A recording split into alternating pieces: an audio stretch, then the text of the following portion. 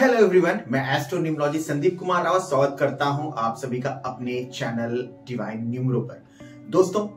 बात करेंगे लोगोस की। आप लोग देखते होंगे different different types of logos आपको देखने को मिलते हैं। लेकिन आपको पता है कि उन लोगोस को हम एक पर्टिकुलर नेम क्या देते हैं? या हम कहें उन लोगोस को एक पर्टिकुलर नेम में कैटेगराइज कैसे करते हैं और क्या कैटेगराइज करते हैं? सो so, अब मैं एक सीरीज़ स्टार्ट कर रहा हूँ, जिसमें हम बात करेंगे डिफरेंट टाइप्स ऑफ़ लोगोस की। आज वाले सेशन में हम लोग बात करेंगे word mark logos yes word mark logo क्या होता है word mark logos word mark logos में rather than creating any visuals और सिंबल्स एक पर्टिकुलर वर्ड को ही लोगो की तरह कंसीडर किया जाता है, एक लोगो की तरह फॉर्म किया जाता है। अब एक वर्ड को ही क्यों चूज़ किया जाता है? उस लोगो की फॉर्मेशन में जब किसी वर्ड के मीनिंग से the owner of the company और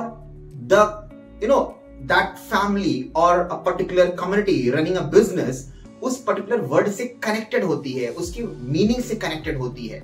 right so rather than using any visual और सिंबल उस पर्टिकुलर वर्ड को यूज़ कर लेते हैं लोगों में which is very good to create an impact ठीक है? Related to the product related to the organization उस पर्टिकुलर वर्ड के जो मीनिंग है, जो वाइब्रेशन है, उस कंपनी के फ़ंक्शंस को डिनोट करता है, उस कंपनी के कुछ आइडियल्स को डिनोट करता है and it may be that कि उस पर्टिकुलर वो जो पर्टिकुलर वर्ड है, वो उस पर्सन के या जो पर्टिकुलर यू नो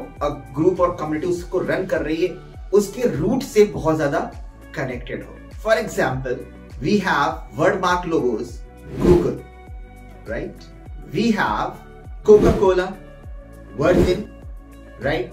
तो आप देखते हैं these are word mark logos तो सिंपली अगर हम क्रक्स में बात करें तो वर्ड मार्क लोगोज वो लोगोज होते हैं जहाँ पर एक पर्टिकुलर वर्ड का यूज़ कर दिया जाता है for the logo rather than visuals और पिक्टोरियल रिप्रेजेंटेशंस आई थिंक आपको समझ में आया होगा कि क्या होता है word mark logos thank you thank you so much